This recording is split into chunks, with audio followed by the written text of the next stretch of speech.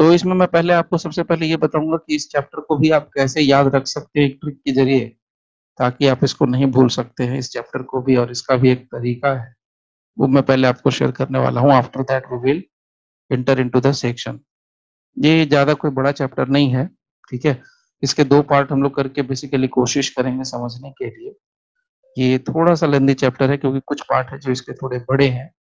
तो we will discuss each and every section जो कि ज़रूरी के लिए है, ज़रूरत के हिसाब से ज़रूरी है, वो सब हम लोग डिस्कस करने वाले हैं इसके। इस चैप्टर को आप डायरेक्टली दो हिस्सों में बांट कर सकते हैं, बांट सकते हैं। यहाँ पर एकदम बिल्कुल क्लियर कट नाम दिया गया सिक्योरिटी और यहाँ पर है फॉर दो चीज़ों के लिए बात करता है keeping the peace and for good behaviour तो किस बात यहाँ पर इस चैप्टर के अंदर बस एक ही चीज़ ध्यान रखनी है। सेक्शन शुरू होता है 106 से लेकर के और एंड होता है 124 तक। मीनिंग देर बाय कि 106 से लेकर के 124 तक के जितने भी सेक्शन होंगे, वो सिर्फ़ और सिर्फ़ सिक्योरिटी की बात करेंगे। और सिक्योरिटी अब इसमें से ध्यान ये रखना है कि सिक्योरिटी कौन लेगा, किससे लेगा, कितने की लेगा, कौन लेगा, किससे लेगा, कितने की लेगा और किस बात के लिए ठीक है? कौन लेगा, किससे लेगा, कितने की लेगा और किस बात के लिए लेगा अगर ये चार पॉइंट अगर आपको याद है तो इस चैप्टर को ज़्यादा आपको मेहनत करने की ज़रूरत नहीं पड़ने वाली है।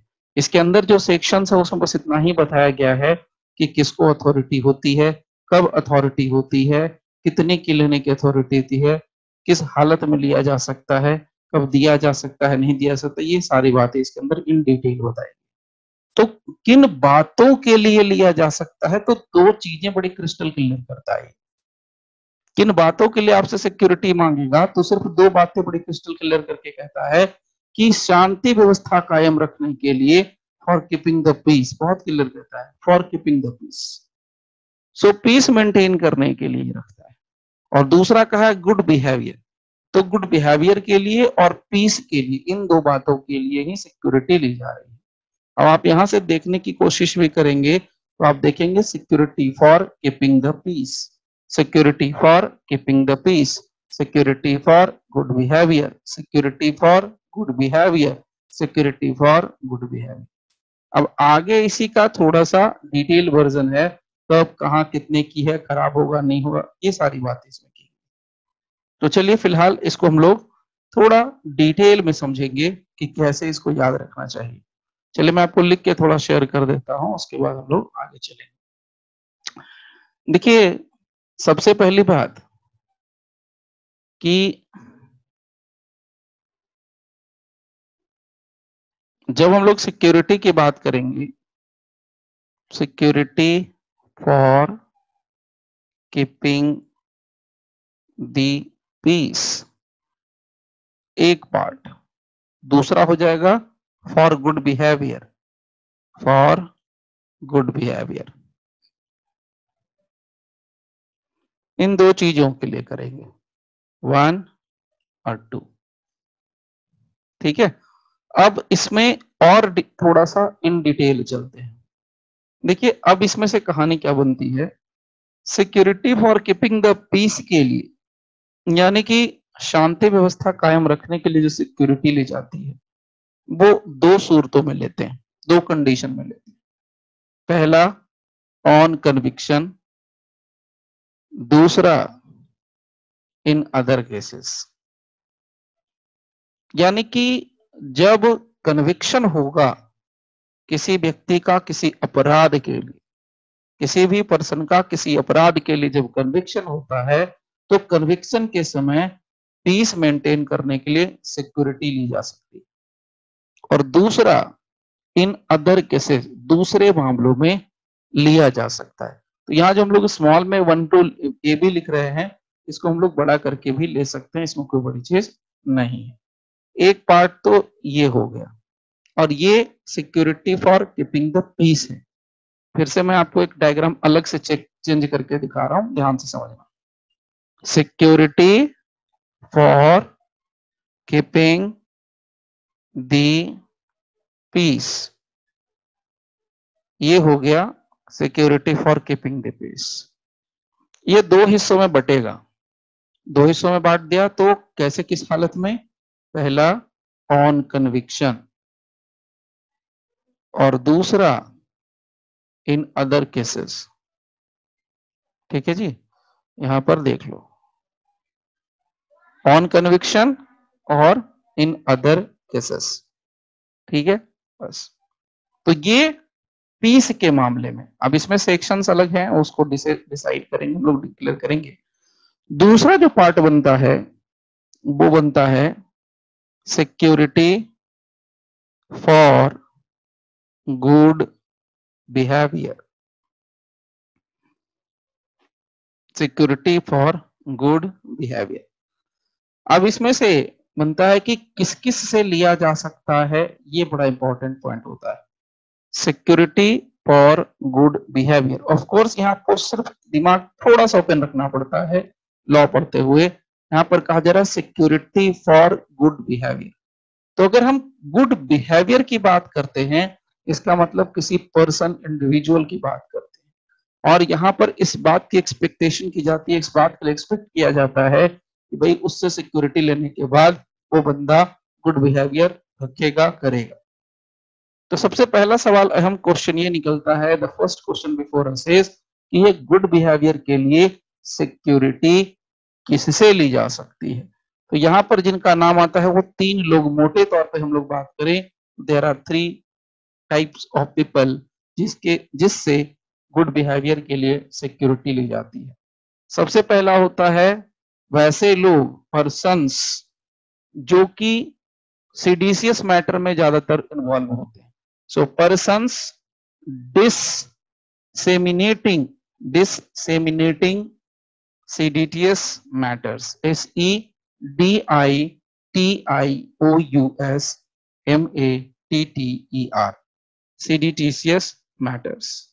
दूसरा, उस तरह के लोग होते हैं जिसको हम सस्पेक्टेड बोलते हैं सस्पेक्टेड पर्सन तीसरा, वो पर्सन की कैटेगरी होती है जिसको हम लोग बोलते हैं हैबिचुअल ऑफेंडर्स जिसको हम लोग बोलते हैं हैबिचुअल ऑफेंडर्स ये रहा तीनों टाइप के लोगों की लिस्ट अब इसमें डिटेल से बताया जाएगा आगे कि भाई किस सेक्शन के अंदर क्या होगा, कैसे होगा, कब होगा।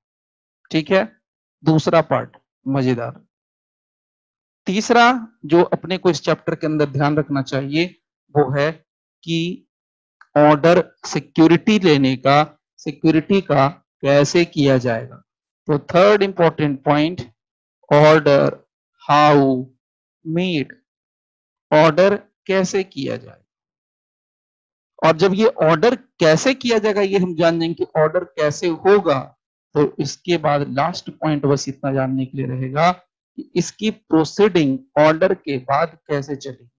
यानी proceedings subsequent subsequent subsequent to order ध्यान देना प्रोसीडिंग्स सबसिक्वेंट टू ऑर्डर यानी ऑर्डर देने के बाद की प्रोसीडिंग कैसे चलेगी, ये बात की गई है। तो अब इसको फिर से एक मैं छोटा, उससे भी छोटा एक समरी आपको देता हूँ, वो और आपके लिए इजी करके देता हूँ। ध्यान से देखो सिर्फ़। चैप्टर है एट इसके चार हिस्से हम लोग करेंगे मोटे तौर पे। देखिए क्या है। सबसे पहला सिक्योरिटी सिक्योरिटी फॉर यहाँ पर दो हिस्सों में बांट देंगे। कीपिंग दी पीस और दूसरा फॉर गुड बिहेवियर और अगर छोटा होगा तो और छोटा भी कर सकते हैं। Security for keeping the peace और फॉर गुड बिहेवियर तो इसके लिए सिक्योरिटी लेंगे। तो इसका ऑर्डर कैसे होगा? ऑर्डर हाउ मेड ऑर्डर कैसे दिया जाएगा? नंबर थ्री और लास्ट यहीं पर थ्री में ही कर देंगे। तो इसके बाद की proceedings so proceedings subsequent to order तो दिमाग में बस तीन ही बातें याद रखनी है पूरे चैप्टर का। अगर मैं यहाँ पर आपको सेक्शन वाइज डालूँगा तो सेक्शन वाइज भी पुट कर सकते हैं।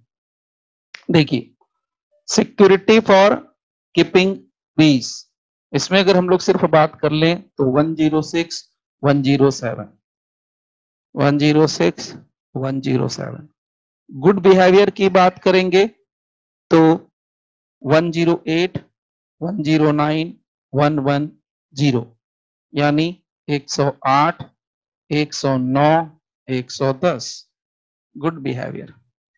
ऑर्डर कैसे किया जाता है? सिक्योरिटी लेने का देने का कैसे देने का ऑर्डर किया जाएगा? यानी जो मजिस्ट्रेट है या जो कोई भी पर्सन है वो अगर सिक्योरिटी की बात करता है कि सिक्योरिटी देना है तुमको तो वो ऑर्डर कैसे देगा? ये बात आती है सेक्शंस 111 से लेकर के 118 के बीच में। 1112 118 और इसकी प्रोसीडिंग्स ऑर्डर देने के बाद कैसे चलेगी? तो 119 से लेकर के 124 तक के बीच में ये पूरी कहानी घूमती है। सिंपल है इजी है, आसान है, कुछ भी नहीं करना। अब इसके अंदर का भी डिटेल बताऊँगा तो वो और भी इजी जाने वाला है so don't worry for that बस जो अभी हम क्या करने वाले हैं, जैसे आप लोग को बताया था अरेस्ट ऑफ़ ए पर्सन तो अगर आप लोगों को रिवीजन किया होगा तो पक्का याद रहेगा नो डाउट मैं हंड्रेड वन परसेंट या टू हंड्रेड परसेंट गारंटी ले सकता हूँ. अगर रिवीजन किया होगा तो हंड्रेड वन परसेंट नहीं दो सौ परसेंट आपको याद होगा. किसी भी चैप्टर का, हर एक चैप्टर का मैं ट्रिक बताते चल रहा हूँ. चैप्टर के अंदर सेक्शंस के भी ट्रिक हैं. वो भी मैं धीरे धीरे बताता चल रहा हूँ। और आगे जैसे जैसे कॉम्प्लिकेशंस बढ़ेंगे, वैसे भी इसके ट्रिक्स बताता चलूँगा। और सबसे बड़ा ट्रिक क्या है कि सीआरपीसी को पढ़ना कैसे सीआरपीसी को चैप्टर वाइज लिंक में याद कैसे रखना है? वो ऑलरेडी वी हैव डिस्कस्ड ठीक है? तो वो वाला पार्ट तो अभी कुछ नहीं है, अभी बस इतना है, शांति व्यवस्था कायम रखनी थी। मैंने शुरू से बता देना है एक बार, थोड़ा सा सुन लेना ध्यान से।